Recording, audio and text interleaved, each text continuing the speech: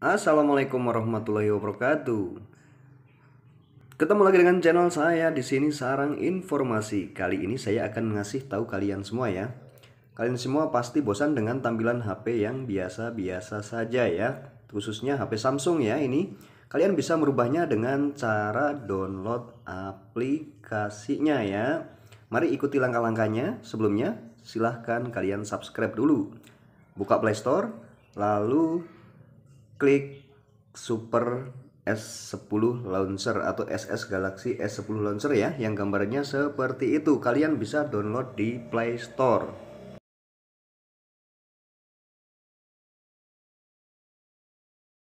Oke jangan lewati video ini agar kalian nanti tahu cara pengaturannya ya. Cara mengaturnya maksudnya ya agar aplikasi ini bisa dijalankan dengan benar dan tampilan HP kalian bisa berubah menjadi seperti HP Samsung S10 ya. Teman-teman ini udah selesai downloadnya. Kita buka aplikasinya dengan cara klik buka. Kalian semua pasti tahu ya. Klik buka. Nah nanti aplikasi akan berjalan seperti ini setelah klik buka ya.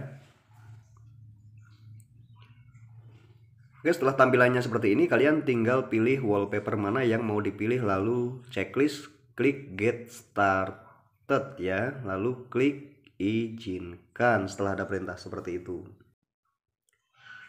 Oke sekarang tampilannya sudah keren seperti itu ya dan sekarang kalian pilih aplikasi. Di sini ya buka pengaturan terus pilih aplikasi. Di sini aplikasinya kalian cari dulu ya. Nah, di situ sudah ketemu S Launcher S10 Launcher ya maksudnya di situ izinkan penyimpanan apa pun kalian silahkan izinkan ya. Dan di sini kalian silahkan mau diatur sebagai prioritas atau diatur bagaimana kemauan kalian ya. Oke, tampilannya sudah seperti ini ya. Keren ya, teman-teman. Oke, teman-teman, kalian kalau mau download aplikasinya silahkan masuk ke Play Store ya.